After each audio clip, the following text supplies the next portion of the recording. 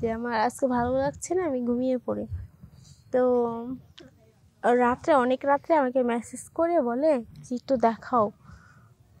Video কলে আসো, একটু দেখাও আমাকে।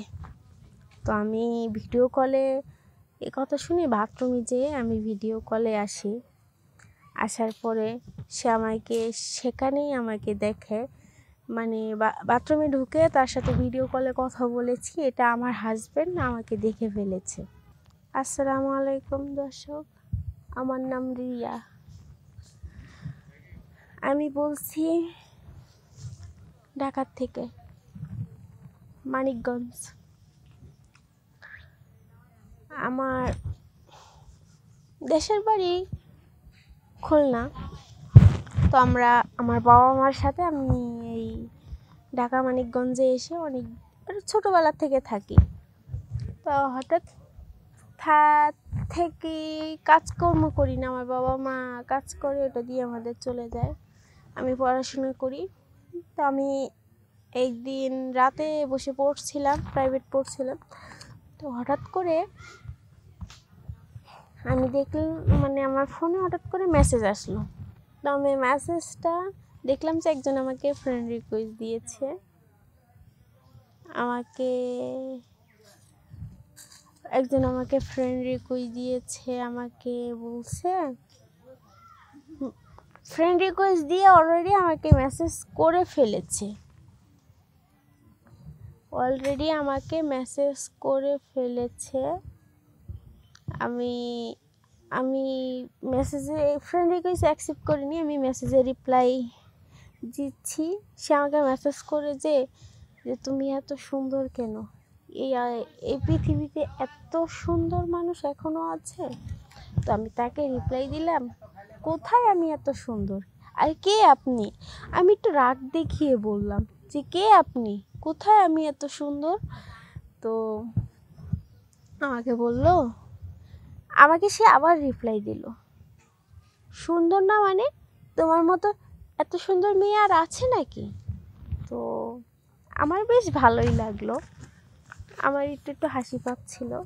এদিক থেকে আমার বাবা মা আমার বিয়ে দিবে বলে ছেলে ঠিক করছিল। কারণ বয়স হয়েছে, এভাবে তো আর রেখে দেওয়া যায় না। আর ওর সাথে আমার প্রেম সম্পর্ক হতেই থাকল।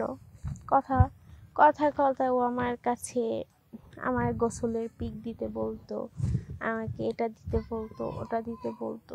গোসল করার সময় সে আমার সে আমাকে ভিডিও কলে মানে বলতো, তুমি যে সময় গোসল করবা? সময় তুমি আমার সাথে ভিডিও কলে কথা বলবা। না হলে আমি এটা করব, ওটা করব। নানান ইত্যাদি আমাকে ভয় দেখাতো। আমি ওকে ভালোবাসতাম তো। তো আমি তার কথা মতন করতাম। সে সব কিছু স্ক্রিন ভিডিও করে রাখতো। সে সব কিছু স্ক্রিন ভিডিও করতো, সেটা আমি জানতাম না। তো হঠাৎ করে একদিন আমার বাবা মা ছেলে নিয়ে আসে আমাকে দেখতে, দেখাতে। আর আমার বাবা মা ছেলে নিয়ে আসে, আসার পরে সে আমাকে বলে যে, আমার বাবা মা ছেলে নিয়ে আসে, আনার পরে আমার দেখে যাই তো আমি বেশ সুন্দরী ছিলাম। আমার বাবা মা ছেলেটা আমাকে দেখে, ছেলেটা আমাকে দেখে পছন্দ করে। ওদের পছন্দ হয়ে যায়, ওর ফ্যামিলির পছন্দ হয়ে যায়। তারপরে এই কথাটা আমি আমি আমার বয়ফ্রেন্ডকে বলি যে, দেখো, আমার তো বাড়ি থেকে বিয়ের কথা বলছে, তো আমি কি করব? তো বলল আচ্ছা ঠিক আছে, সমস্যা নেই, বিয়ে করো। সে মনে করল এমনভাবে বলল, সে আমাকে ভালোই বাসে না।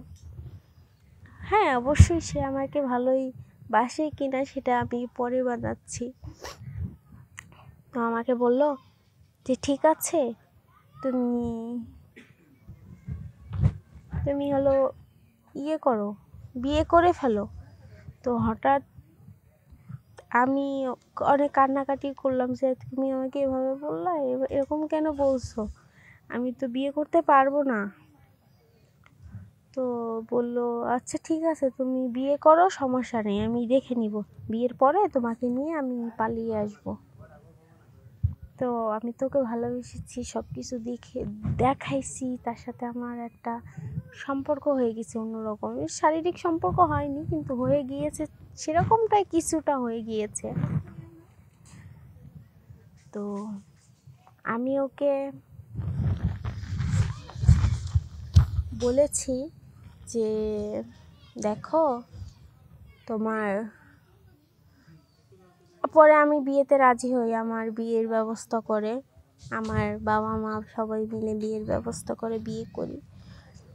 তো আমাদের বাসর রাত, আমার হাজব্যান্ড আমার বাসর রাতে আমার কাছে আসে, এসে আমাকে বলে যে, তুমি কি আমার প্রতি অখুশি আছো? তো আমি কিছু বলি না আমার হাজব্যান্ডকে আমি এভাবে ই করে যাই, এড়িয়ে যাই, আমি বলি যে, আমার আজকে ভালো লাগছে না, আমি ঘুমিয়ে পড়ি। তো, রাত্রে, অনেক রাত্রে আমাকে মেসেজ করে বলে যে, একটু দেখাও।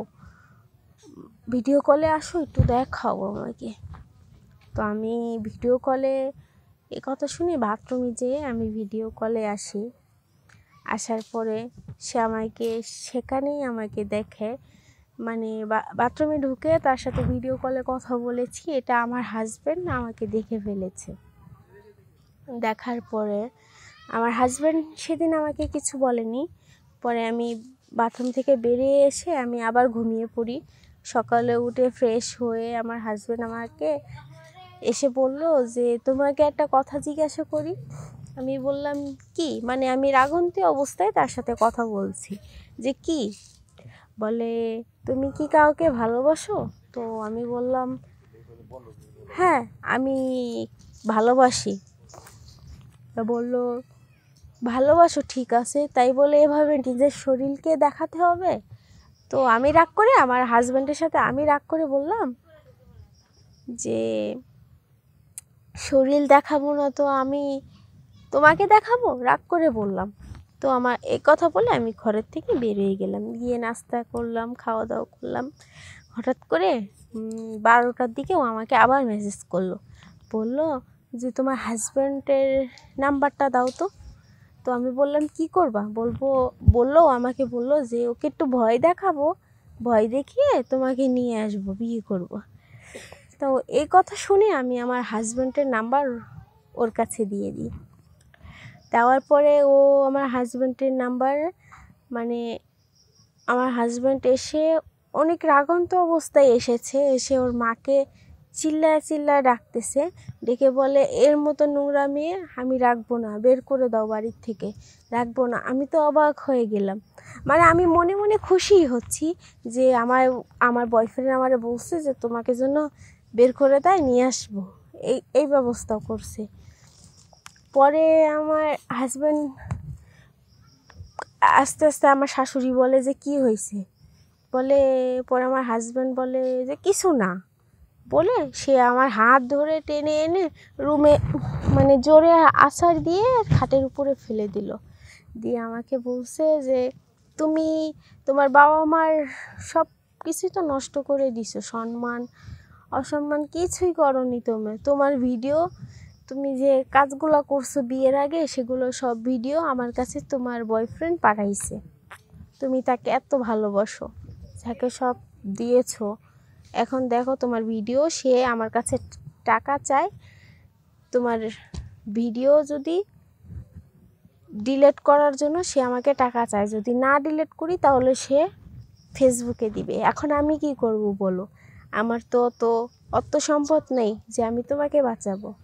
তো আমি সেখানে অঝরে কান্না করতে থাকলাম, যে যাকে আমি এত ভালোবাসলাম, সে আমাকে এভাবে ব্ল্যাকমেল করতেছে। আর এভাবেই মানে আমার হাজব্যান্ডের কাছে টাকা চাচ্ছে। এভাবে সে আমাকে বলেছে, সে আমাকে নিয়ে বিয়ে করবে। কিন্তু এগুলোর জন্য তো আমি তাড়াতাড়ি করে ফোনটা নিয়ে আমি ফোন দিই আমার বয়ফ্রেন্ডকে দেওয়ার পরে ও ফোন রিসিভ করে না ফোন অফ ওর সিম সেটা অফ করে দিয়েছে।